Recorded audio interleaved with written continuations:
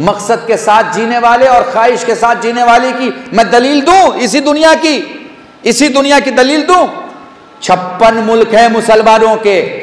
ख्वाहिश के लिए जीते हैं। खामे नहीं है, मकसद के लिए जी रहा है। मैंने बड़ा जुमला। बस मैंने खत्म की तकरीर अपनी। जाएँ। जाएँ, देखें इन छप्पन मुल्कों में। जो इनके राजा हैं, जो इनके नवाब हैं, जो इनके लीडर हैं, जो इनके बड़े बादशाह हैं, उनके कपड़े देखें, उनकी गाड़ियाँ देखें।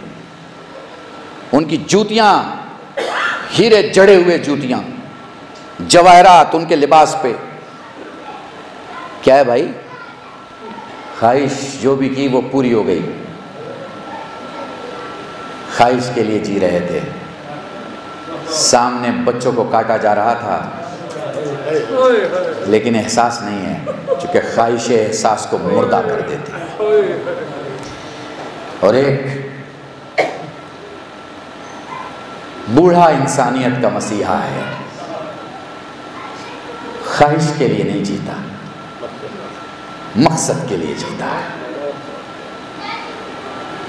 वो मेरी आवाज़ दूर दूर तक जा रही है और हुसैनी चैनल के ज़रिए से शायद सारे मुसलमान सुने और हमारे दूसरे नौ मुस्लिम भाई सुने। फ़िलिस्तीन में शिया नहीं रहते। एक शिया नहीं रहता, एक।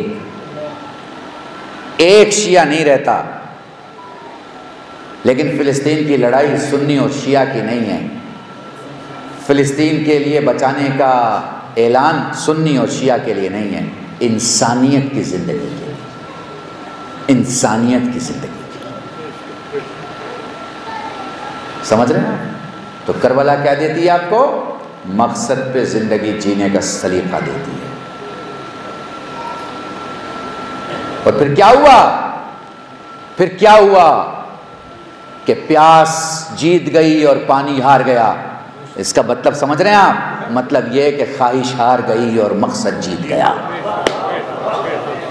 बस, मैंने तमाम किया मौजू आपके सामने।